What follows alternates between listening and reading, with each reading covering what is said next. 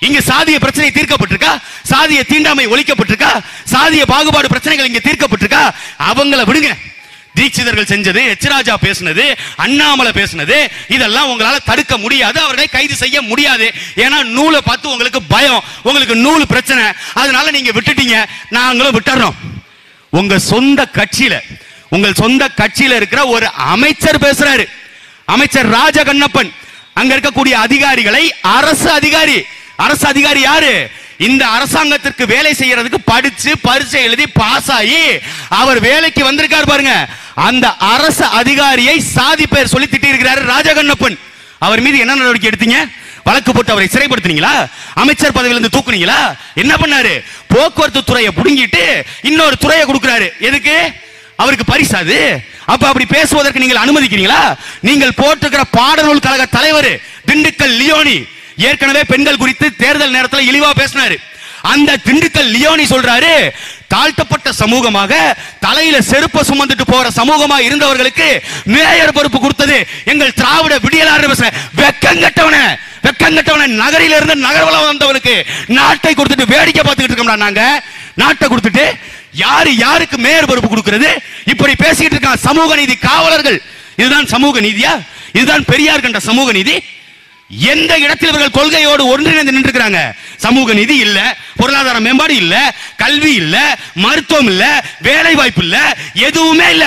இங்க இருக்கிற குறைந்தபட்ச சுற்றுச்சூழலை பாதுகாப்பதற்கு இவர்களுக்கு அருகதை இருக்கா?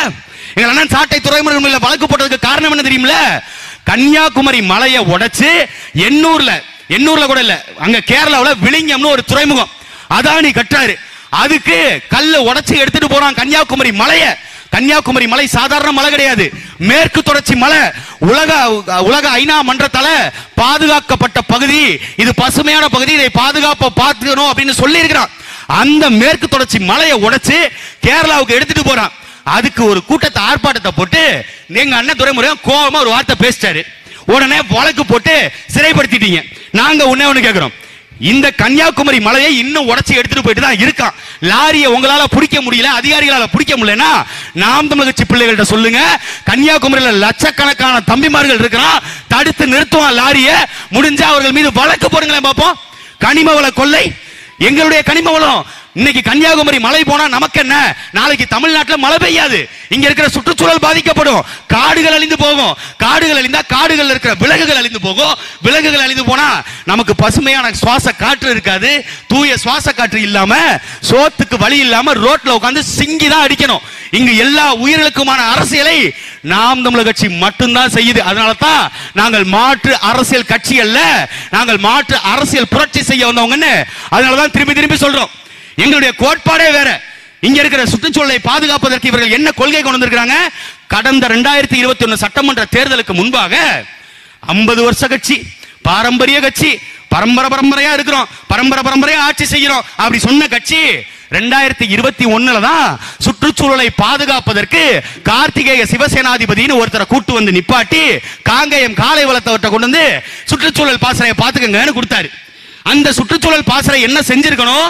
இங்க இருக்கிற காடுகளை பராமரிக்கணும் நீர்நிலைகளை பராமரிக்கணும் இங்க இருக்கிற விலங்குகளை பாதுகாக்கணும். இதெல்லாம் செய்யாம விட்டுட்டு அந்த சுற்றுச்சூழல் பாசறை என்ன தெரியுமா வந்து நடந்துச்சு? கிரிக்கெட் போட்டி நடத்திக்கிட்டு இருக்கு. கிரிக்கெட் போட்டி நடத்துறதெல்லாம் ஒரு சுற்றுச்சூழல் பாசறையா? நாம் தமிழ் சுற்றுச்சூழல் பாசறை தமிழ்நாடு முழுக்க பல லட்சம் பனை விதைகளை நட்டு வளர்த்து வந்துகிட்டு இருக்கோம். எதுக்கு? நாங்க வந்ததுக்கு அப்புறம் செய்வோம்னு உட்காந்து வெங்காயம் திங்கிற ஆட்கள் கிடையாது. வருவதற்கு முன்பாக சரி செய்யணும். வந்தபோது நாங்கள் இன்னும் செய்யறதுக்கு பல கோடி கனவுகள் இருக்கு. இங்கு மக்கள் சமமாக வாழாத நிலை இருக்கு. அதை உருவாக்கணும். மக்கள் இங்கு சமமாக பார்க்கப்படணும். அதிகாரத்துல இருக்கிறவன் பணபலம் படைச்சவன் அவனுக்கு ஒரு நீதி இங்கு தாழ்த்தப்பட்டு ஒடுக்கப்பட்டு பிற்படுத்தப்பட்டு இங்கு பொருளாதார வளர்ச்சி இல்லாம இருக்கிறவனுக்கு ஒரு நீதி. அப்படித்தான் இங்க இந்தியாவில் நீதி வழங்கப்படுது. இதே இந்த பாபர் மசூதி இடிப்பு வழக்கு அதில் கொடுக்கப்பட்டது தீர்ப்பா அல்லது நீதியா?